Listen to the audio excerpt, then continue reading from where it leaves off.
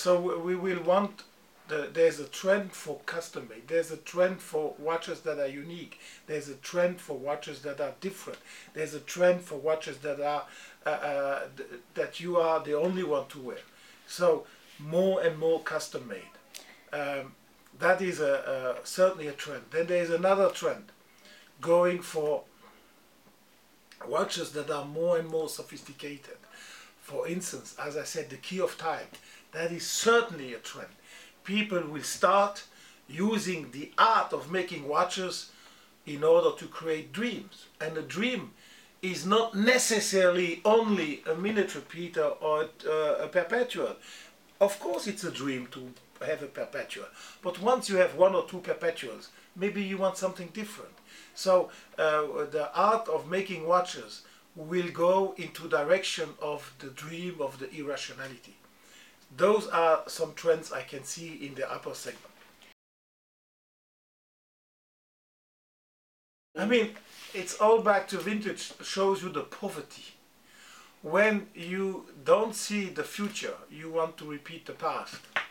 But uh, the future is so rich, the future is so bright, that somehow it's a tragedy to repeat the past. Let the past be glorious. Buy vintage watches from the past. But are you so poor that you have to buy a vintage watch, which is not a vintage watch because it's made today and it looks like the one of yesterday, is does this bring something? It's like if our uh, painters would paint uh, Monet or Picasso or Matisse. What's the sense?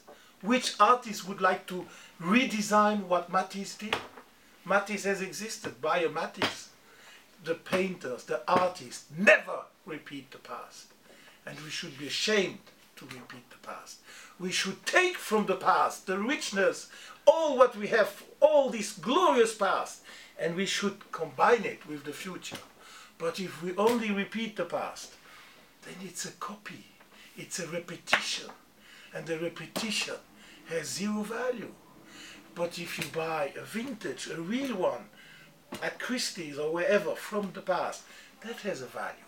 But if the same watch has been made, it's like if you would do cars that look like a cars from 1951. What's the sense?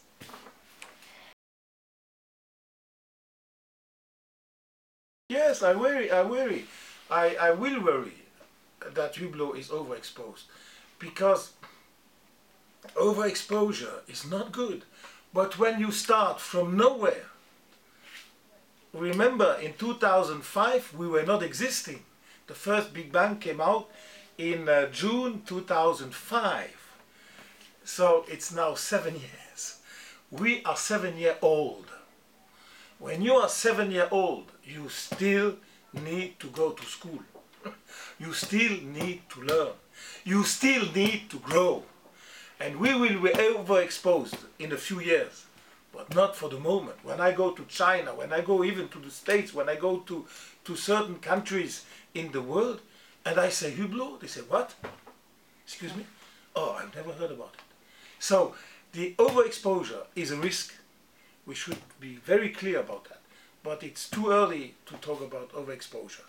But believe me, one day, I hope, we will suffer of overexposure. And that day, we will reduce.